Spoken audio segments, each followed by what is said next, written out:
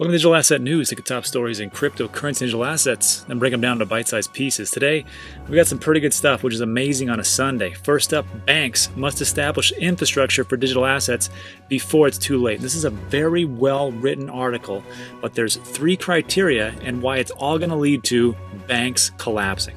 Also, the SEC issues no action letter in response to digital asset securities questions. What this means is it's a hands-off approach to securities. And what is this going to mean for the overall cryptocurrency digital asset market?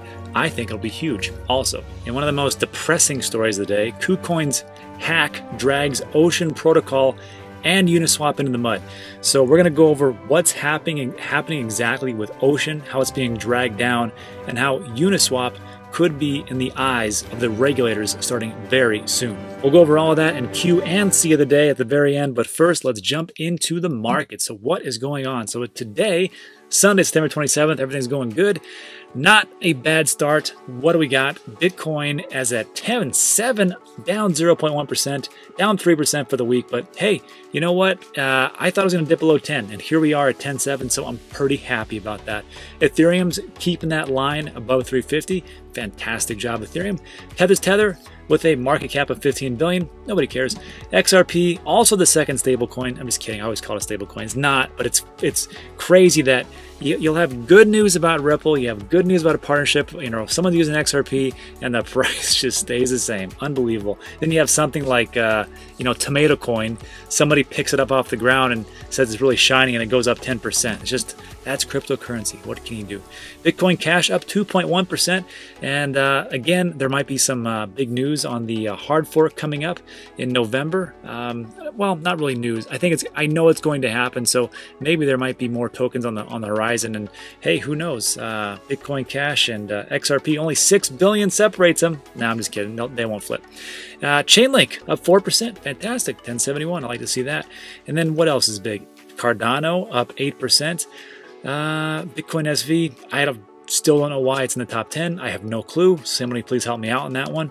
Monero up 4%. Great. What is uh, some other big losers or gainers? Yearn up 3% at 30,000. Yeah, it was just like 20,000 not too many days ago. Unbelievable. And uh, nothing really too fantastic. Just kind of in between that 1 and 5% area, either up or down, mostly down, a little bit of a red, but it is Sunday. That's normal. That's par for the course. Uh, interesting stuff, but let's jump into the real big stories. First up, uh, this was so well written, uh, I have to ask the question who wrote this? And the title was Banks Must Establish Infrastructure for Digital Assets Before It's Too Late. And let's just scroll all the way down and find out who the heck this is. So this is uh, actually two people uh, Gunnar Harv, Jarv, I know I didn't say that right, and Glenn Wu. I think I nailed that one. So Gunnar is a chief operating officer of First Digital Trust, Hong Kong's technology driven financial institution, uh, blah, blah, blah. Uh, prior to joining First Digital Trust, Gunnar founded several tech startups, including Hong Kong based Peak Digital. And Gunnar, managing director of APAC at Ledger, an industry leader in developing security infrastructure solutions for cryptos and blockchain applications. Extensive career in financial services, technology industry, working for S&P Global Market. So uh, these two guys uh, looks like it was worked together, and it's really great. And let's just jump into it. The big stuff is this is the big takeaway that I, I, I took from the whole thing, which was uh, banks will fail, and uh, the only way that they can bail themselves out is to partner up with the uh, new systems that are coming about, uh, whatever cryptocurrency digital assets they can get their grubby little hands on, because if they do it from scratch, uh, they're going to fail just like Blockbuster. Anyhow, What's going on here? So the Office of the Comptroller of the Currency, or OCC, officially announced that all nationally chartered banks in the U.S. can provide custody services for a cryptocurrency. This was like a month or two back, and uh, everybody was like, super excited about that. And uh, you know, we're like, "Oh, this is going to be great!" And they're going to do it. But uh, there was a great article. This is how I got in touch with Alex Mascioli, and he said, "Hold your horses. That's not going to happen. Banks aren't known for innovation." And uh, he was totally right. They haven't done anything, and here we are what, a couple months later. So, hey, what are you going to do? Uh, July 29th? Yeah, but a couple months. So, the big question, or one of the big questions that these banks are asking is hey, where are these newly acquired digital assets going to be stored? How do we do that? Because we can't just put like money in a vault. We can't put gold in the vault. Not that they do that anyhow, I might add, because most of the time it's like they have 1% of their total cash flow in the actual bank. And most of it's just zeros and ones on a uh, digital ledger. They have no money. If you went into the bank right now, or let's just say 5% of people went to their local branch and said, I want all my money back, uh, they wouldn't be able to do it. They're like, uh, sorry, sir, man, we don't keep money here. We're just a bank. so anyhow, that's one of their problems. So where are they going to store these digital assets? Because they have no idea. According to Financial Action Task Force's yearly report, the industry, let me move this, the industry's lack of infrastructure is limiting compliance and safe storage of assets. As traditional financial markets begin to embrace the space, they must develop robust tailored technology solutions with the strength of a legacy system. So let me just back up what they're saying here is that they have to pretty much go from scratch. They have to build this from the ground floor up, and later they'll talk about partnerships. And they need to do all this and innovate because they're banks. I read this and I almost snorted because I was laughing. And uh, it just it just comes down to the fact of they won't, and that's why they're going to be left behind. I don't dislike. I hold on. I'll be honest with you, I do dislike banks. I dislike some banks, especially my banks, because I've always talked about them. My personal bank's awesome, USAA. My business banks suck, and they got a lot of problems, and there's a lot of fees, and I just don't like them. But uh, besides that, I mean, the people that work in banks, I like the people. People are good. Uh, just that the banks themselves, they're just bloated and they're uh, archaic, and they need to go. And they're going to be left behind. So the thing is that they're not going to innovate, just like Blockbuster. Does anybody remember Blockbuster streaming? Neither do I. But guess what? It did happen. And uh, I had to look it up. And Blockbuster streaming came about because they were trying to compete with Netflix. And they said, oh, we can do that. We're a huge corporation. And guess what? They failed because Netflix was nimble and they were young and they could make all these different decisions and just move in different directions that the normal Blockbuster corp worldwide corporation could not do because they were just bloated top heavy. And uh, that's exactly what's going on here. That's how I think is going to happen with all industries. You're going to see a bunch of disruptors come up because they can do all these things, because they don't have upper middle management weighing them down. And that's just, unfortunately, um, how innovation really takes root. So moving down, um, I'm not going to go over the whole thing. I mean, it was very interesting. I'm going to link it in the, to the uh, description of, uh, of this video, but uh, I'll just give you the highlights. The future of finance is moving fast. And if banks don't incorporate the correct protective and regulative mechanisms, assets are at great risk. So meaning if they don't do this right from the ground up, they're going to lose a lot of money, a lot of your money. And uh, I just said, he, I'm like, they're not going to do that. They're, they're going to fail because they're too big to succeed, just like what I talked about. Blockbuster is an obvious uh, example, but another, here's another great example that I found. That I've used this actually a couple of times, and this is um, it's a great one from Data is Beautiful, and they just talk about how the different browsers that came about. If you notice, uh, Internet Explorer around 2001, remember all the way back then, uh, it had 92% uh, market share, or you know, 90% of people were using Internet Explorer because it was the go-to. And you know who makes Internet Explorer? Microsoft. And they were huge. They were a billion dollar company, and all these goofy Mosaic, Opera, Netscape. I mean, they tried to compete. Netscape actually had uh, the market share at the beginning, but uh, Microsoft said, we're going to crush you. And then they're going to, they probably thought themselves, we're going to stay on top. Well, watch this. Here's this thing called Firefox out of nowhere and just comes up in Safari, but who uses Safari? Only people with Macs. And uh, it just started to gain and gain and gain. I'm not going to bore you to death, but uh, I'm going to fast forward to a minute and 15. This is 2005, I might add. And watch what happens. So Firefox is getting traction. Internet Explorer, why is it? There's a thing called Chrome. What's Chrome? No one knows. Just some goofy Google something or other. And all of a sudden, there's just these guys who work out of a out of their garage. They start crushing everybody. And here they are. And Chrome starts to take over. Google takes over. And Google is what it is right now. Just like banks. Banks are the same type of thing. And they're like, you know what? We're going to crush everybody because we have all the money and all the people and whatever else. But guess what? You can't innovate. You can't move fast enough. You're not nimble. And that's just how it is. All right, I'll step off my soapbox for a second and scroll down. So, they state we foresee a parallel system running which players will use infrastructure that works significantly different from traditional payments, networks, or settlement flows. And it's all going to come down to can they innovate? Can they catch up? And uh, I don't think so, but I could be wrong. Uh, let me know what you think in the comment section. Let's finish this up. So it states if banks move too quickly to capitalize in the booming space, and I'm sure it's very tempting because if you're a bank, you're like, wow, this is a this could be the next trillion dollar industry. We need to get on top of this. Um, should we do it right? Well, we'll try, but who knows? We're the banks. So, like I say here, I mean, they are the ones that created, I mean, pretty much the AML and KYC, uh, know your customer and anti money laundering. And we just had a story last week where uh, there was over $2 trillion uh, money laundered. So they can't even, you know, keep in keep in line with their own infrastructure that, that they built themselves. They can't even stop money laundering. Um, so I said, what makes you think they'll put the customer first? They've got to make profits. I just don't think it's going to work out. So lastly, banks entering crypto custody will need tried and true crypto asset technology developed specifically for the industry and will inevitably face the build versus buy decision. So really, if you're a pretty big company, you're like, we don't have the the time to do all this stuff. We just want to pay somebody to do it, and that's I think their only option. I don't think they're going to build it from the ground up. I know J.P. Morgan's trying to do that, but again, uh, same type of thing. I don't think they're that nimble. I think they have middle management, top management heavy, and to make all the decisions and move as fast as they need to, they're going to lose out. So they should just buy it from the ground from somebody else. The implementation process is not easy, nor is it cheap. They cannot cut corners. Banks will need to develop a team to research and make recommendations, seek approvals, build a team, test prototype technology, and conduct regular cybersecurity assessments. So why would they do it themselves?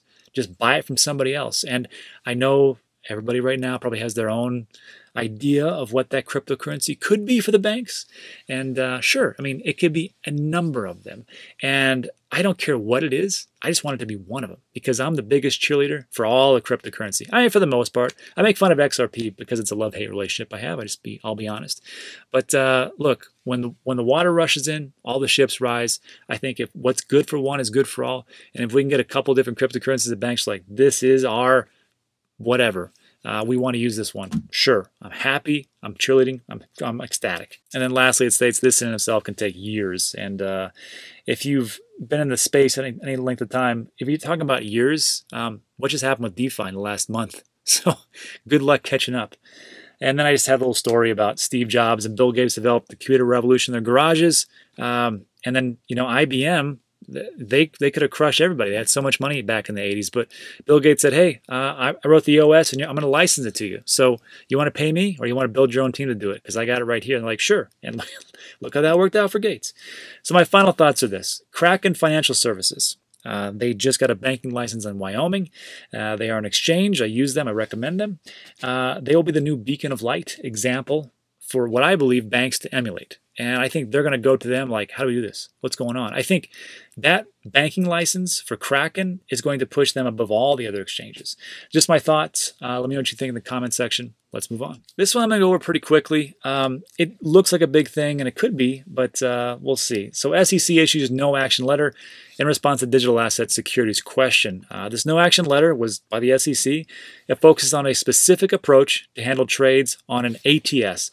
ATS is an alternative transaction system, namely a so-called three-step approach, and we'll go over that a bit. Digital securities in this context, in this context, refer to securities that are held and exchanged via a distributed ledger system, distributed ledger technology, DLT, and all that good stuff. So um, the letter itself looks like this. This was uh, drafted on September 25th, and here's the letter itself. So they were talking about a four-step approach where they would you know, the archaic one, like, okay, you're going to use this term trading system. Uh, ATS will match the order. ATS notifies the buyer and seller. Then the buyer and seller sells the transaction bilaterally, either directly with each other or by instructing their respective custodians to settle. And this one is just a three-step approach, kind of the same thing, but they're not going to do it between themselves, just their, their custodians. And the SEC said, hey, we're going to do hands-off as far as securities go, which is great. I mean, there was a big issue with, uh, you know, the SEC going, hey, we're going to clamp down on these securities and, and whatnot, but uh, here we are. So this just frees up regulation, which is pretty amazing. And even Brian Brooks from OCC says, hats off. Today, the Securities and Exchange Commission's issued a no action letter authorizing, authorizing crypto security tokens to trade on registered exchanges. Good day for investor protection in an emerging asset class. So the thing that comes to my mind, first of all, is that is the uh, Ripple lawsuit uh, that's going on right now. Is XRP an actual security? My question is then is will this play a big role into that? Will it even make a difference? I don't think XRP wants to be a security, but if it is, I mean, here we are with uh, what just happened right now. Anyhow, let me know what your thoughts are. Uh, it's a wide open discussion, and uh, let's move on to our last story. This one, I'm just going to tell you right now, A little depressing. So KuCoin got hacked. Uh, I think we've been reporting on that, uh, you know, a couple days ago, but it goes deeper, and it's it's going to be, I think it's going to be far-reaching. So, Singapore-based crypto exchange KuCoin suffered massive attack on 25th of September. That was two days ago, right? It's 27th today, yes. In which the hackers they took 150 million worth of digital assets such as Bitcoin, Ethereum, and others. And these days, I think we're getting so jaded, we're like, ugh, another hack, no big deal. But it is a big deal. I mean, these exchanges, that's the whole reason for an exchange to actually exist, is to make sure that your funds are protected. And even if they have insurance, to cover all these things, it still can tank the market and then you lose money uh, indirectly. So they need to be a little bit more careful with what they're doing. And uh, this is why, you know, decentralized exchanges are good or are they? And I'm going to get to that in a second. So, but it wasn't until the early hours of Sunday that the hacker started to move a large amount of ETH as well as ERC20 tokens. Shortly thereafter, Ocean Protocol notified the community members that around, Jesus, 21 million Ocean, which is worth 8.6 million, was among the stolen funds. This was followed by the platform, the AMM platform, pausing Ocean contracts. So they were able to, this decentralized organization was able to pause the ocean contracts. Interesting. Didn't know if you could do that, but uh, is it really decentralized? We'll see. This incident caused a decline of 5% over the last 24 hours and dragged the token's price to 36 cents. That's what I'm talking about. They keep going down because of all these different hacks. This should not happen. You shouldn't have to lose money because of an exchange that you trust or, or an exchange that you don't even trust. That's their whole job is to make sure that it's actually safe. Finishing up, Su Zhu, I hope I said that right. The CEO of Three Arrow Capital questioned how freely these decentralized platforms were able to pause contracts, what we just talked about. His tweet read, So, it seems the time to talk about decentralizing all the things. And another time to pause contracts because of a small amount of supply getting hacked. If central actors can freely pause contracts, they also could be forced to do so by regulators in their jurisdictions. That's very true. They could just come down, sure as you know, regulators come down go shut it all down. Ah, well, we only got 96% uh, power. Fine, shut that part down. And off you go. And then here's the bad news. So on top of all the other bad news, KuCoin hacker hacker started leveraging the DEX platform Uniswap to swap from altcoins to ETH. This was revealed by Alon Gal, the chief technology officer of cybercrime firm Hudson Rock, who tweeted, KuCoin's hacker begins laundering 150 million. Wow. He started swapping his Ocean for ETH via Uniswap, pretty easy place to do that. Because you go to the other exchanges, they're like, just like how Binance did it, they shut down a hacker who was uh, transferring all the funds because they are a centralized exchange. With Uniswap, you don't have that issue. He already dragged the price down by 4% in less than an hour. It doesn't seem to be slowing down. Due to low liquidity for this token, he's going to crash it hard. Let's find out. Let's see what it is. I don't even know. Well, still at 37 cents, so not too bad, but uh, we'll see exactly how far down it goes, but um, that's awful. Finishing up, while the latest incident did not have much impact on the crypto market in general, but if the swapping continues, DEX giant Uniswap could likely come under the scanner of the regulators because essentially what's going on is they're stealing money and they're using that to essentially launder out money and get you know uh, cryptocurrencies. I know it's a loose association. I shouldn't say launder, but let's call a spade a spade. Uh, people steal your money. They go someplace else. They exchange it for something else launder. So uh, let me know what your thoughts are on that. I see some problems on the horizon. I see some problems on the horizon, but there is a lot of different resolutions, and some people will actually say this is a good thing, and it's it's a mentality. I had done a post on another another hack, and somebody had said hackers are good. Hackers are good for this entire industry. And I was like, how the heck is that even possible? And they said something along the lines like, well, if there's no hackers, we'll never uncover all the different uh, holes in the protocol, different things that need to be shored up. So yes, you're going to lose some money now, but in the long run, it's better because you're going to be able to fix it. I see the the reasoning behind it, but that try telling that to all the people who lost the money in like the Mount Gox. You know, these days these exchanges have uh, insurance; they can they can cover it, uh, and they take the hit. But uh, I don't know. It just seems like a very odd thing. And then if you if you take that same type of mentality, same thing happens here. Well, it's a bad thing, but it's going to improve the uh, exchanges for security. I got to tell you, I got to tell you uh, that it seems like there's a bunch of hacks and it still keeps happening. So I don't know if they're going to get any better or not. I don't know what the resolution is. That's for somebody smarter than me. I'll just say that. Anyhow, Let's leave that and go into Q of the day. So let's jump in the office. Hello, everybody. Welcome back to Q of the day. Uh, it is Sunday. It is 11 o'clock a.m. Texas time. Everything's right in the world. So uh, we've got uh, a Q of the day, which is a pretty good question about dollar inflation, and uh, the C of the day, which is correction of the day, which I have to go over uh, just one thing. So I've been doing pretty good as far as not making uh, too many colossal errors, uh, but every so often I do a stumble. So I just make, need to correct myself and just say, hey, made a mistake, and I'll correct that. So for Q of the day, this comes to us from John. And John says, Hello, Dan. I enjoy the podcast. Thanks, John. Appreciate it. Help me wrap my brain around something if I have this wrong. By pegging stable coins to any fiat or dollar or whatever, fiat cash, won't we still suffer from inflation, deflation, hyperinflation? By pegging any coin to the dollar as it inflates, doesn't that have an impact on the coin tied to it? And uh, it's a good question. And so it's one of those things that people say, like, you know, because we're always looking at the actual market and saying, oh, well, you know, Bitcoin's going up and down, and the and the value of it is, you know, going from ten thousand seven hundred to ten thousand nine hundred, and and then, then it goes on ten thousand. So we're always thinking about it. It actually fluctuates. So with uh, stable coins, it's not like that because it is pegged to the dollar. It's always going to be around a dollar. Like you know, sometimes Tether is like ninety nine cents Sometimes it's a, it's a dollar or one. So maybe that, that is the confusion. But it really goes down to the actual strength of, of the dollar. So if you have uh, Tether or um, USDC or whatever else, uh, any kind of stablecoin else that you have, uh, it is pegged to that dollar. So uh, the dollar strength goes up, it goes up. The dollar strength goes down, it goes down.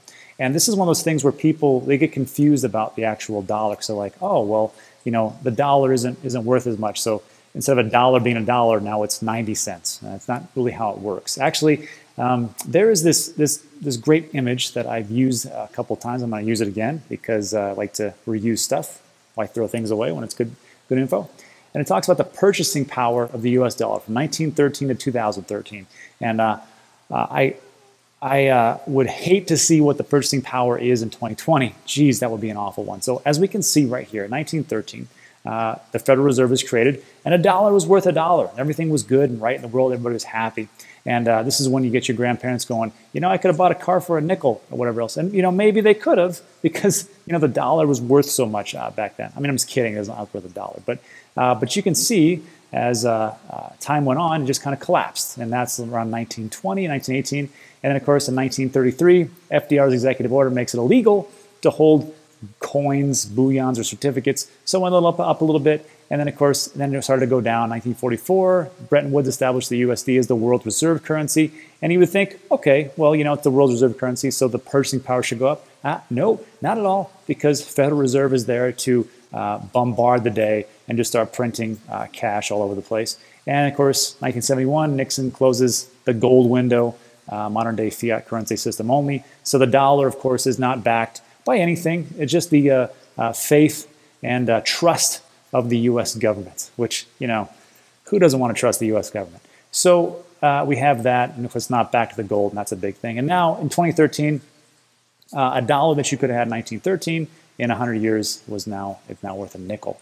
So here is the problem um, with the dollar losing its purchasing power and all the, uh, the Federal Reserve actually printing money. Because the Federal Reserve prints money, which they did, you know, I think, uh, what, two, three trillion, something like that, you know, just a little bit.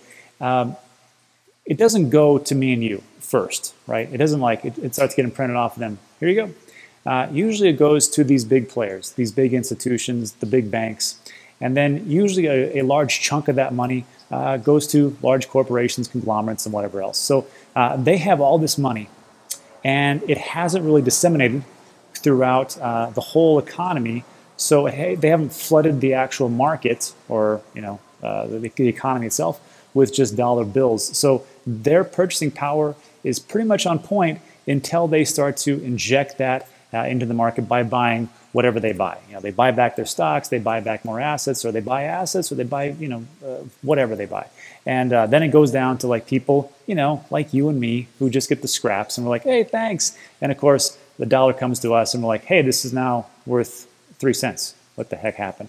So as you print more money, this is the problem. So the original question is, uh, it's pegged to uh, these stable coins, so one to one. So it's not going to be like you're going to see like 90 cents, 80 cents, 70 cents. What it's just going to be is that your stable coin, it's stable, just the purchasing power sucks. And that's really what happens. So uh, that's all. That's all for that one. So hopefully, uh, uh, John, thanks for that good question. I really appreciate it. And then let's go on to the C of the day. Now, what you think? So, correction of the day. Uh, there was a post that I put out. Uh, it was about Alex Mascioli. Uh, I'm always talking about on, on, the show because he is, you know, traditional finance, and now he's got into uh, cryptocurrency digital assets, and he's got his pulse on like pretty much what you would call whales and big players in the institution, on top of all the big names in cryptocurrency uh, that he gets on his show. And um, he had a segment where it was it was talking about is Cardano, Chainlink, uh, Theta uh, is about to explode, and then here's some you know they do a bunch of technical analysis, which I must tell you uh, puts me to sleep. But uh, I mean, for for some of you TA people, I know you guys love it, and gals, which are there's not that many many uh, gals on my show. I will I'll just say that because that's just the, the demographics. But uh, when, when, he's doing TA, uh, it was a lot of good information. And uh, Monty, uh, one of the guys from Market Rebellion, he had called Chainlink at like this is when it was like 17, 16, 17, 18 dollars somewhere on there. And he's like, it's going to 1050. And I was like, this kid doesn't know what he's talking about. And then of course it went to 1050. And now he's calling for it to actually, you know, run up uh, up to a margin of 25%, and it looks pretty good. They also talk about, like I said, uh, Cardano and Chainlink and everything else, and uh, the different, um, uh, what are they talking about as far as uh, banks and stablecoins. So it was actually all good news. And what I wrote was uh, bad news if you're a holder, check the data. And I put that out on Friday. And while I was trying to rush and get things done, so I was trying to put out, I was trying to put out the video. I was trying to, you know, push th this information out, trying to line up my my show next week and I'm home, I'm helping homeschool my grandson. So it's like everything's everything's all on, on at once. Oh, on top of the other businesses, uh, you know, for like my Amazon, the sports facility, and stuff like that. I'm like, okay, let's get this done. And I just got discombobulated, and I put in uh, bad news if you're a holder. So uh, it should be good news. So I corrected that, and then I and everybody who and I will tell you this: thanks so much for letting me know that I screwed up because uh, without you, I wouldn't have known I screwed up. So thanks. Uh, and so what I did was I just wrote it back to everybody, said, hey, that's my fault, and I changed the title. So uh, that was the C of the day. Sorry about that. And um, I mean, regardless, though, I mean, it was still it's still good information. Like if, it's bad news and, and they talk about the market's going to crash, then maybe you want to start to you know take some of your funds out. I'm not that way. I just invest. I I don't really even care. But uh, you know, if that was the case, sure. That, now that it's good news, you know, maybe you look at that and go, ah, well, you know, maybe I can plan for to take profits or uh, maybe I want to uh, increase my position another 5 or 10% because it looks like things might go up. That's all up to you. But uh, yeah, sorry about that one. A little, little C of the day, a little error, but uh, hey, no one's perfect. All right, so that's it for, for that segment. Let's jump back. All right, hope that answered everybody's question on that one. It's a pretty good question. I like that one. Uh, a lot of a lot of history behind that as well. So uh, that's it for today's video. If you need an alternative to Coinbase or KuCoin, then definitely take a look at the uh, exchange and um, wallet fees uh, spreadsheet. There is a link in every one of my videos in the description. It's to look something like this. And what it does is it breaks down all the different exchanges and wallets and decentralized exchanges that I've ever used or am currently using and if I recommend them or not based on different criteria. And I talk about all the different fee charts and if you're going to uh, get any kind of interest rate just for just for sticking them around or any or any kind of fee for taking them off and swapping there, all that stuff. And uh, I just give you like, you know, just a breakdown of what I've what I've got and what I don't recommend. eToro, don't recommend them. And uh, lastly, I have a one-two, I guess one-two-three punch as I call it now. Uh, Celsius, Voyager, and Kraken. There is no perfect exchange. Let me just say that. Voyager's got its issues. Celsius has a little bit of issue. Kraken has a little issue, but uh, it's the ones I use the most and the one I recommend. You can you can go right to Kraken, right to Celsius, right to Gemini. What it doesn't matter. You can go right there. But if you use my affiliate links, you can get between 10 and 25 bucks if you sign up, and uh, that's the big thing. So, thanks uh, for sticking around. I really appreciate it, and uh, I'll see you on the next one.